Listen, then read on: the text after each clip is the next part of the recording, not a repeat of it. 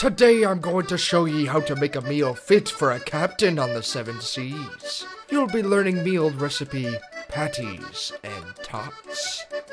For the patties, you're going to need a few things. Of course, the frozen patties, pickles, your favorite condiment, and the finest seasoning you have alongside your squishy, delectable hamburger buns. After setting the grill to high, place your patties in a formation, as shown. Once your patties are placed, begin applying your seasoning. First, I apply my pepper, and then later, my secret powder Dave's steak and hamburger seasoning. Once applied, begin spreading out the seasoning.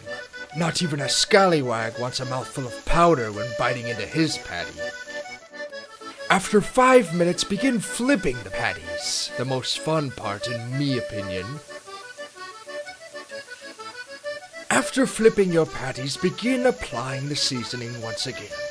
And enjoy listening to those patties sizzle.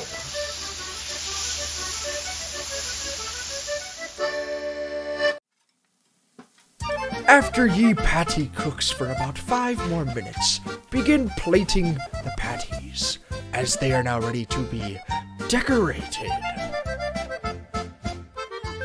To assemble the bottom of our patty, we'll first need the bottom bun, and then followed, place your patty on top.